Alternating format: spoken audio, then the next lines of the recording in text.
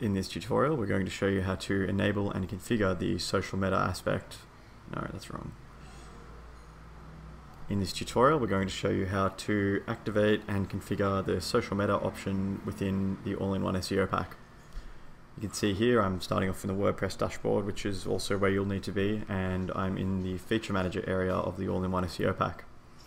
From there, I just need to simply click activate on social meta, and shortly after we do that, it becomes an option in the menu over on the so we're just going to click on that now. So all of these settings that you see here are related to the Facebook Open Graph meta tags that can be added to your website. Now if you're not too sure what those are don't worry about it too much but you will need a Facebook page associated for your website if you are going to actually go through and use this. So the first option we have is to use the all-in-one SEO title and description which I strongly suggest that you do enable. Uh, what it will do is use the title and description that you've specified in the all-in-one SEO pack settings rather than what's actually defined as the site name and site title. The next setting is for the profile admin's ID. So what it would be is facebook.com slash username, well, with of course HTTPS at the front. So you just need to make sure you find out what yours is so you can input that appropriately. The next setting is the site name, so you want to make sure that this is about your website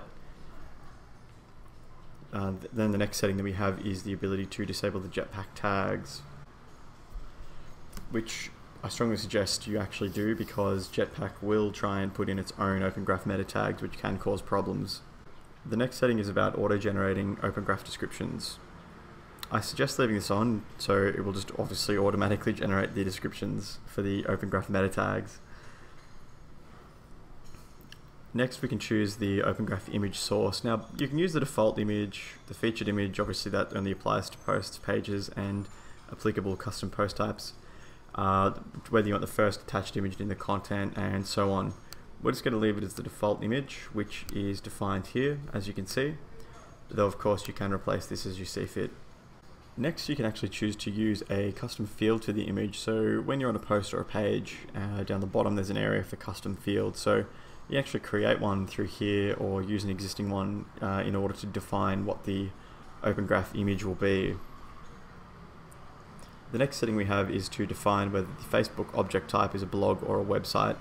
In this case it's just a blog, very simple, but if you have a website that's something other than that, you can of course change it to website. The next setting is regarding the Facebook meta for which post types. So as you can see here, I've got posts and pages already selected, which is normal, uh, and that's what I should have.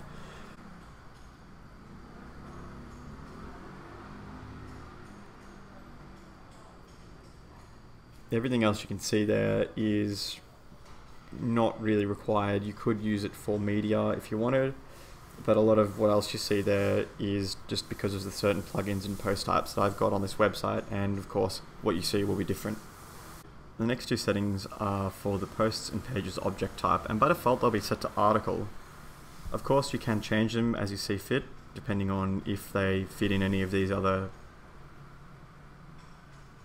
object types. But for most people leaving them as article is fine. Finally, when you're done you can click update options. And that'll save all of those changes that you've made.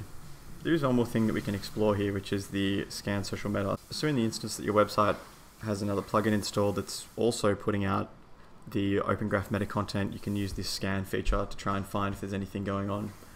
And as you can see, no duplicate meta tags have been found. So that's all there is to know when it comes to setting up the social meta for the all-in-one SEO pack. If you have any questions, please feel free to ask in the comments below.